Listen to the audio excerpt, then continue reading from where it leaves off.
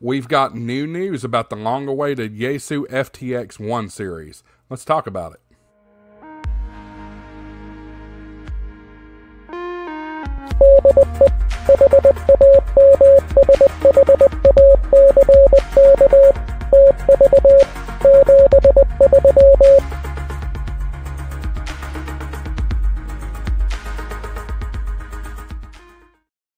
Hey, everybody, welcome back to Ham Shack TV. I'm your host, Josh, AA4WX. Appreciate you being here. Hey, we are on the drive for 1,000 subscribers. We need your help. If you haven't already, hit that subscribe button down below right here. That certainly helps the channel. And when we hit 10,000 subscribers, we're going to have an HF radio giveaway. Check the playlist for more information about that HF radio giveaway or go to the website hamshacktv.com for more information. Today's video is brought to you by Ham Radio Prep. Ham Radio Prep is the proud sponsor of the Ham Shack TV uh, Hamfest Tour, fueled by Ham Radio Prep and World Radio League. If you're looking to get your technician, general, or extra class licenses, look no further than hamradioprep.com and use my coupon code HamShackTV for an additional 10% off their already great prices on those great licensing courses. And they believe you'll pass so well on your first attempt they offer a money back guarantee. Appreciate Ham Radio Prep and their support of Ham Shack TV. Hey guys, uh, we did a video back in the fall about the Yaesu FTX 1 series.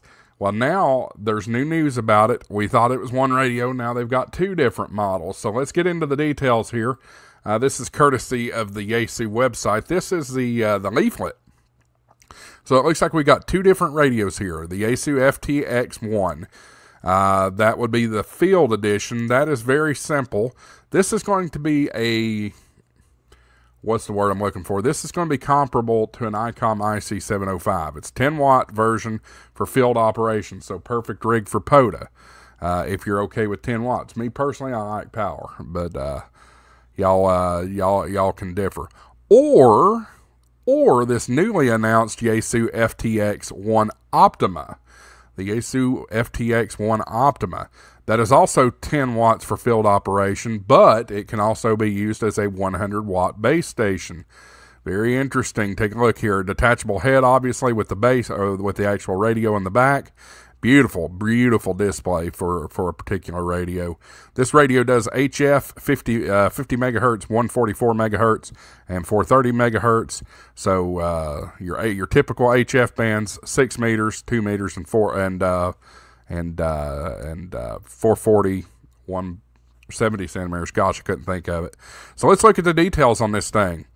Uh, no future without the past, dawning a new era for wide coverage transceivers with epic uh, making features from the the pioneer of single sideband radios from over 70 years.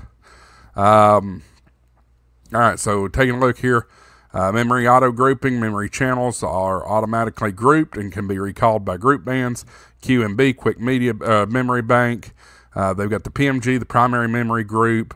Also, AMS, automatic mode selection. That comes in handy if you're using Fusion, C4FM, that kind of thing. Uh, transmits bands 160 meters, 80, 40, 30, 20, 17, 15, 12, 10, 6, 2, and 70 centimeters. So this is a shack in a box, so to speak. Uh, field edition, 6 watts with, supp- with supplied battery, or 10 watts if you're on an external DC power supply. So remember, 6 watts if you're on the battery, 10 watts if you're on the external DC.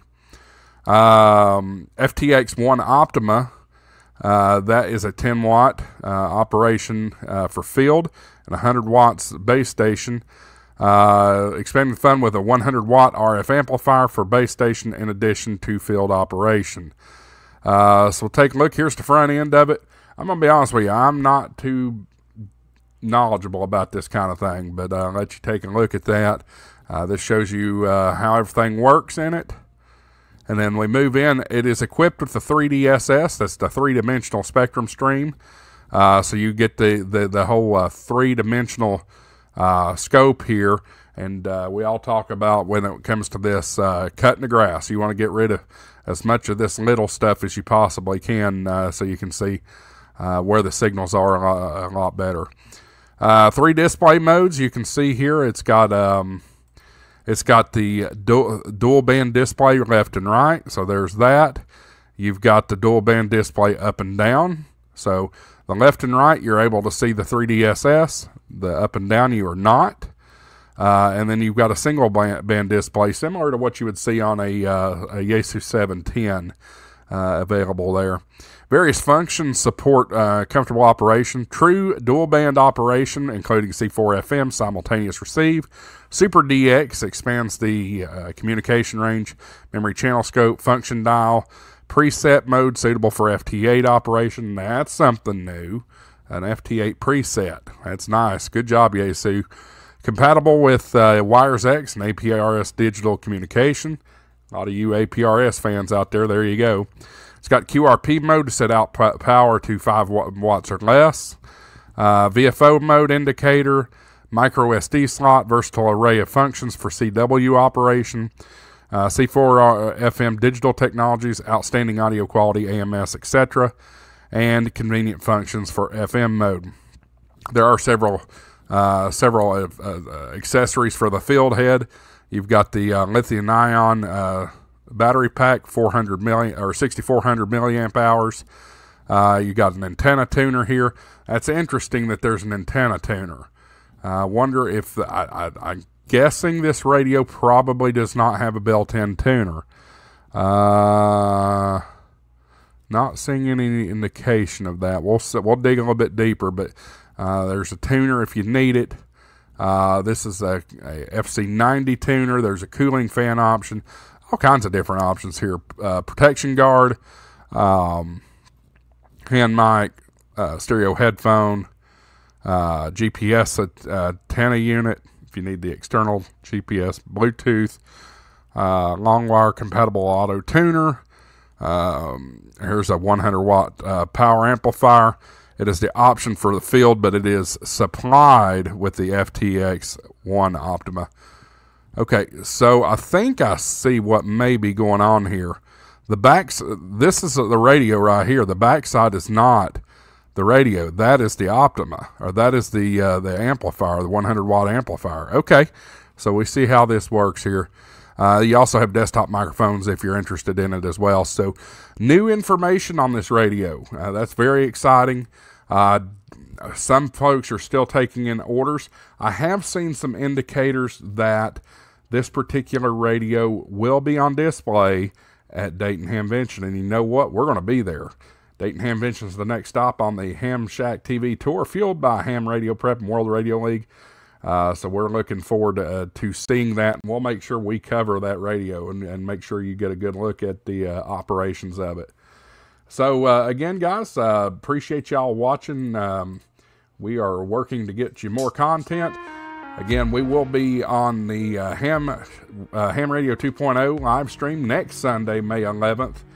I believe that's at 7 p.m. Central Time, so 8 o'clock Eastern Time. Uh, we'll be talking about Dayton Hamvention, getting ready for that. A lot of your old favorite YouTubers will be there there, uh, there as well. Again, don't forget about the HF radio giveaway. Check out hamshacktv.com for more information on how to uh, get entered into that drawing. 73s, we'll see you in the next video. AA4WX, WSCB 693.